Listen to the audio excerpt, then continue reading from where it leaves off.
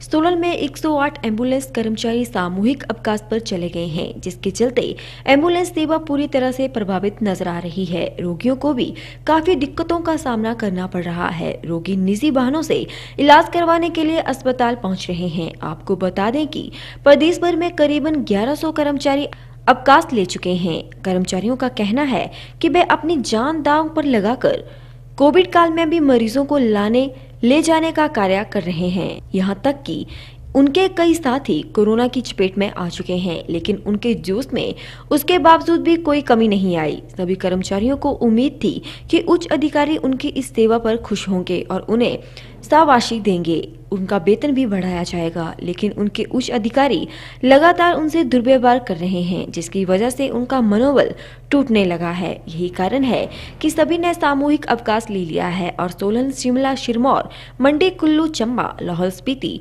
और किन्नौर में एंबुलेंस सेवा ठप हो गई है। 108 एंबुलेंस में तैनात सोलन के रोहित कुमार ने बताया कि न्यायालय द्वारा उन्हें पंद्रह हज़ार रूपए वेतन देने के आदेश दिए गए थे, लेकिन इन आदेशों पर भी अभी तक कंपनी ने अमल नहीं किया। कंपनी प्रबंधन उन्हें कभी आठ हज़ार रूपए वेतन दे रही है तो कभी नौ हज़ार रूपए वेतन दे रही है। कम वेतन मिलने से सभी कर्मचारी बेहद परेशान हैं, इसलिए उन्होंने उपायुक्त सोलन को ज्ञापन सौंपकर उचित कार्यवाही करने की मांग की है। उन्होंने बताया कि 108 और 102 एंबुलेंस कर्मियों ने मुख्य चिकित्सा अधिकारी को एंबुलेंस की चाबियाँ सौंप दी हैं। उन्होंने चेतावनी भी दी है कि जल्द कंपनी प्रबंधन उनकी मांगों को माने और उनका समय पर वेतन दे। उन्होंने बताया कि उनका सामूहिक अवकाश तब तक जारी रहेगा जब तक उनकी मांगे मान नहीं ली जाती। नमस्कार सर, मेरा नाम रोहित है। मैं कंडा घाट में 108 में पायलट के पद पर तैनात हूँ। अभी 2020 जनवरी 8 तारीख को कोर्ट की तरफ़ से हमारे हमें पंद्रह हज़ार सैलरी देने की जो ऑर्डर थे वो पास हुए थे। लेकिन तब से आज तक हमें वो पंद्रह हज़ार रुपये नहीं मिले हैं।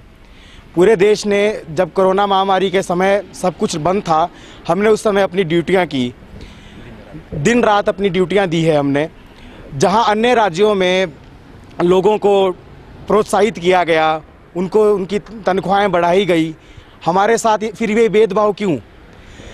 जब अदर स्टेट्स के मुकाबले देखा जाए कि उनको डबल सैलरी मिल रही थी, हम लोग जो हमारी नौ हज़ार सैलरी, किसी को दस हज़ार सैलरी, हम उस पर काम करते रहे। लेकिन अब अनलॉक शुरू हो गया है।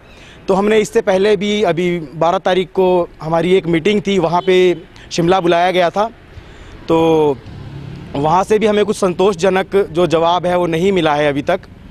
तो जिसके, जिस वजह से जितने भी समस्त कर्मचारी हैं 108 और 102 के, वो सामूहिक अवकाश पर चले गए हैं। इसके लिए जो ज्ञापन है, वो डीसी साहब को दे दिया गया है और जो गाड़ियों की चाबियाँ हैं, वो सीएमओ साहब को हैंड ओवर कर दी गई है।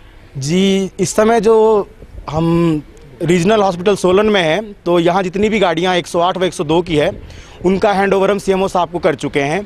जिसमें से दो 108 व चार 102 है।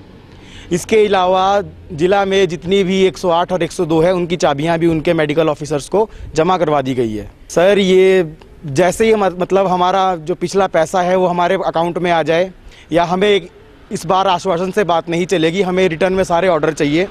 जैसे ही जो रिटर्न ऑर्डर्स हमारे पास आते हैं, हमारा ये जो सामूहिक अवकाश है वो समाप्त हो जाएगा।